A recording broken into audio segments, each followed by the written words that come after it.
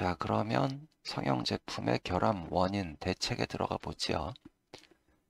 이 사출 제품은 사출 단계에서 뭐 해결 가능한 결함도 있겠지만 이 제품하고 금형 수정 없이는 해결이 안 되는 경우도 굉장히 많죠.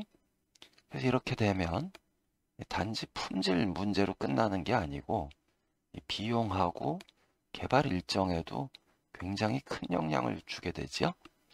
그래서 결함의 원인하고 대책을 잘 이해해서 사전에 그 불안한 요인을 제거하는 게 굉장히 중요하지요.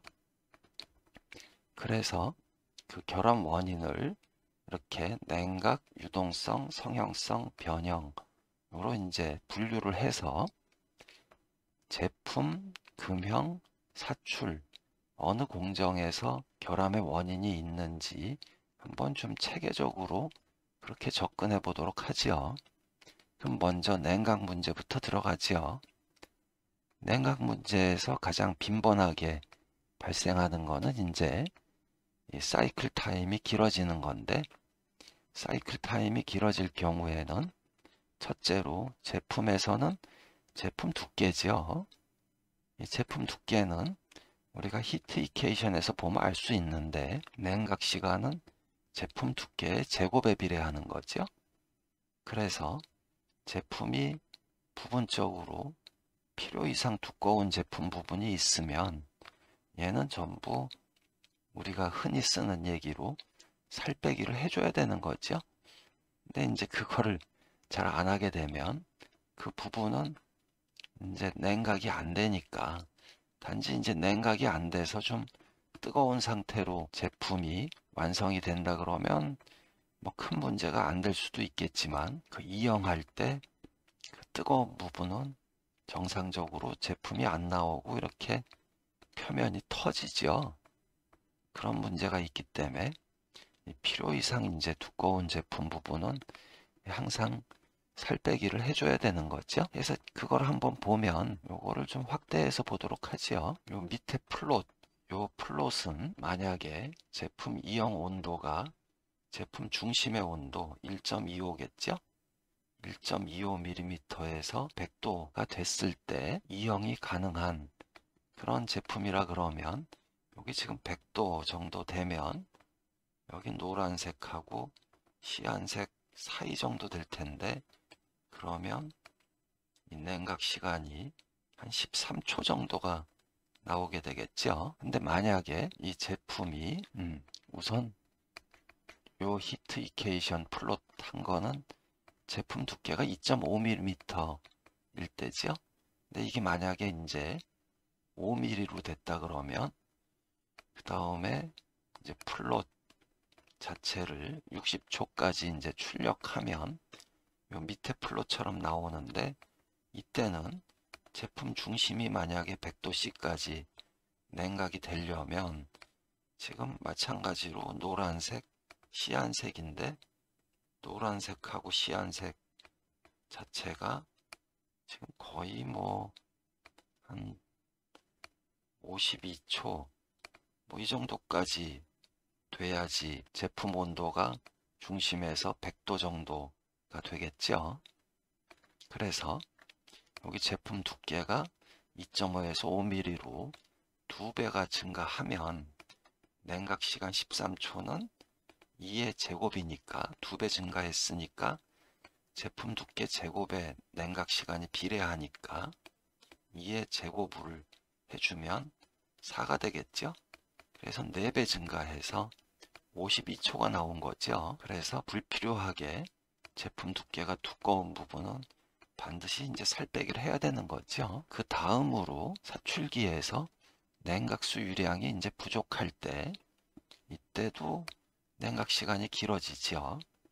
왜냐하면 우선 냉각 채널에서는 요 수식에 의해서 시간당 그 제거하는 열량이 결정되게 되는데 우리가 여기서 냉각수 출구 온도, 입구 온도라 그러면 이 온도 차이는 보통 5도 이내로 유지하게 하지요.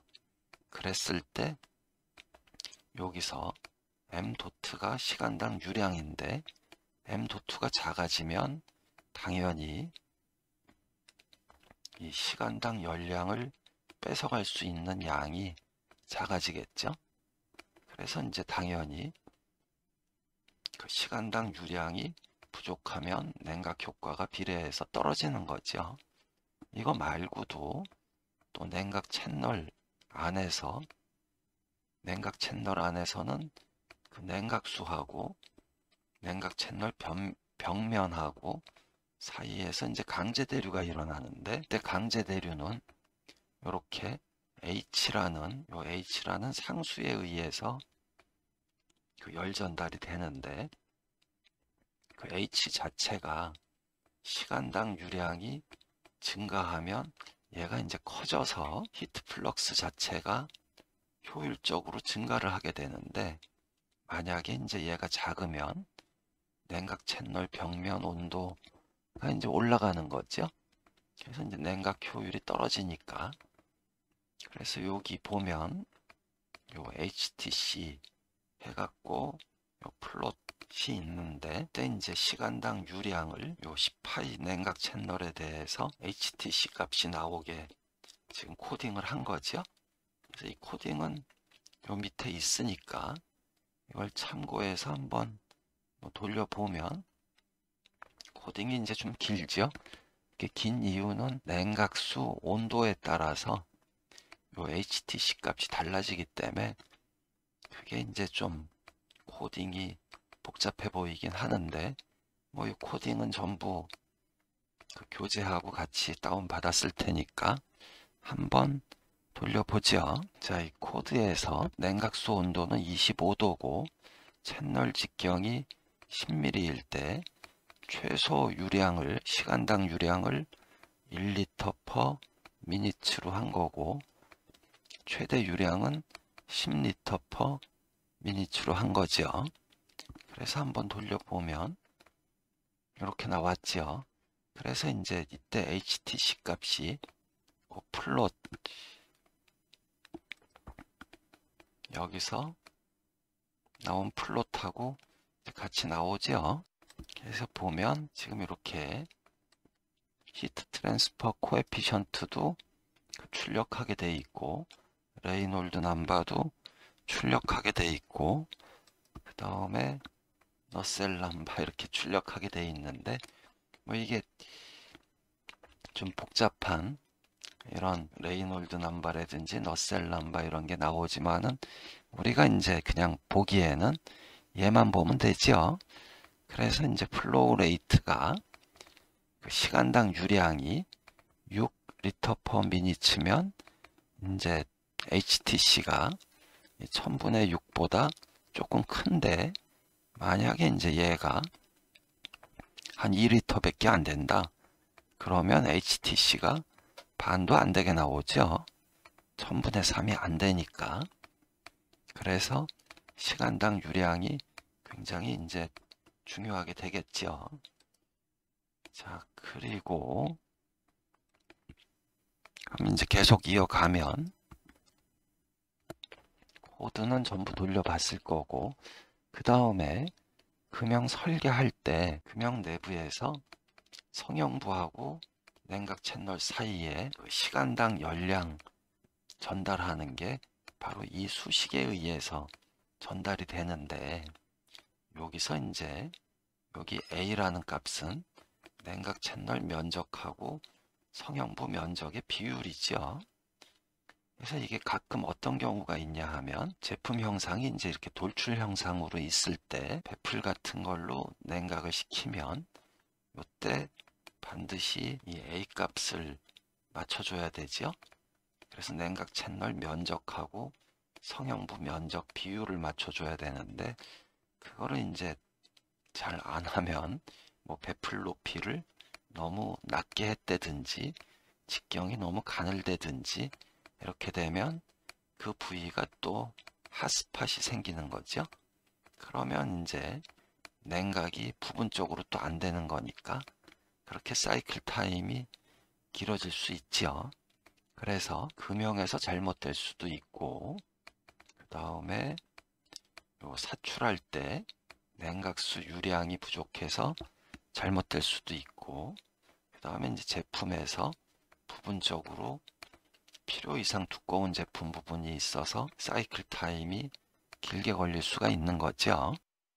냉각 문제는 굉장히 중요한 문제이기 때문에 나중에 요 7장의 냉각회로 구성해서 조금 더 자세하게 다시 언급을 하기로 하지요. 이제 다음 넘어가면 여기 냉각 편차에 의한 변형 얘를 잠깐 보죠. 얘는 이제 변형은 뭐 여러 가지 원인에 의해서 변형이 생기겠지만 사실 정상적인 냉각 조건에서는 냉각 편차에 의한 변형은 거의 발생하지 않죠. 먼저 번에 히트 이케이션에서 thermal diffusivity 설명할 때 이 플라스틱 재료의 thermal diffusivity 자체가 스틸 재료에 비해서 한 100분의 1밖에 안 되죠. 정상적인 냉각이라 그러면 온도 차이가 고정 측, 가동측 뭐한 10도 뭐 이렇게 난다 그래도 사실은 뭐 냉각 편차에 의한 변형은 발생하지 않는다고 보여지는데 그런데 특별히 웰드라인 같은 거를 제거하려는 그 목적으로 이제 냉각을 시키는 게 아니고 금형을 가열하는 경우가 생기지요. 특히 이제 저 제품 외관 쪽에 주로 이제 고정측이 되겠죠. 고정측을 뭐 히터를 사용한다거나 아니면은 스팀 몰드를 적용한다거나 또는 뭐 시제품을 찍기 위해서 시사출 단계에서 냉각을 안 돌린다거나 이제 그럴 경우에는 요 밑에 그림처럼 이렇게 큰 변형이 나올 수가 있죠. 그래서 이 변형 양을 보면 정상적이라 그러면 여기 이 Z 방향 변형이 뭐 불과 0.3mm 이내로 이제 변형이 되는데 요 밑에 보면 지금 1.682 0.66 했으니까 지금 0.3mm 정도가 변형이 되게 돼 있죠. 그래서 이렇게 냉각 편차에 의한 변형은 일반적인 경우는 발생하지 않지만 이제 가열을 할 경우 고정측 또는 가동측 한쪽 면을 가열을 할 경우에는 이렇게 큰 변형이 생길 수 있다. 이렇게 이해하고 넘어가기로 하지요. 자, 이제 유동성 문제는 조금 쉬었다가 하기로 하지요.